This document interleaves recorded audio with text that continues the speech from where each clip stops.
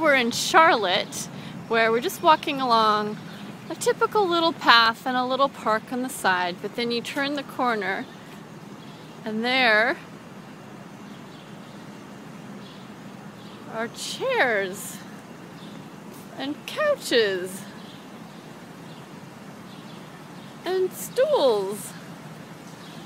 And also, there's this cute little walkway and then they have poems that are printed on metal, drooped over the side.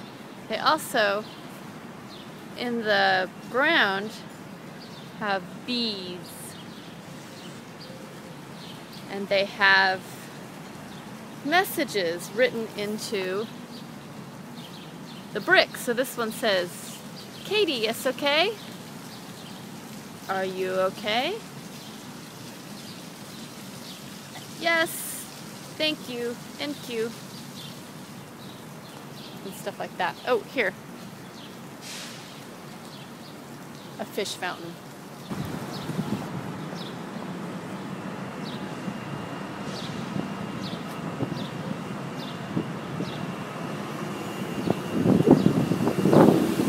As you walk along, suddenly you see a big stack of books that reaches up taller than the skyscrapers.